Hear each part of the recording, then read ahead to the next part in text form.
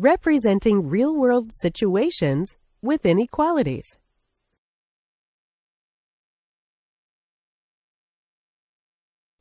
Let's meet Chelsea.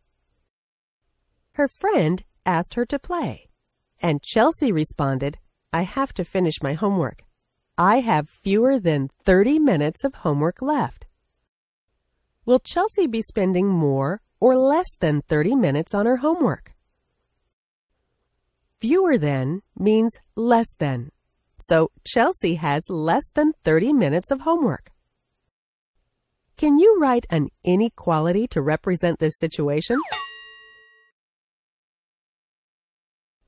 If T stands for the time Chelsea will spend doing homework, then T is less than 30 represents that the amount of time will be less than 30 minutes. Let's try one more example. For his homework, Devin has to read at least 20 pages in his book. Hmm, what does at least mean?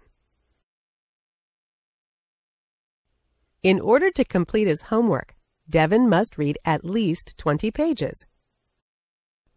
Will his homework be complete if he reads 15 pages? No. What if he reads 20 pages? Will he have completed his homework? Yes. Can he read more than 20 pages? Yes. At least means greater than or equal to. So, the inequality that represents the number of pages P that Devin must read is P is greater than or equal to 20. Let's recap.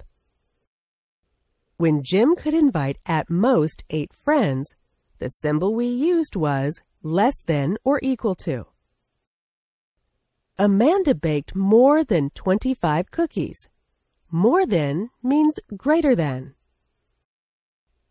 Chelsea had fewer than 30 minutes of homework left to complete. The symbol we used to represent fewer than was the less than symbol. Finally, Devin had to read at least 20 pages for homework. At least meant greater than or equal to. Can you think of any other clue words that indicate a specific inequality symbol? Take a moment to review this table.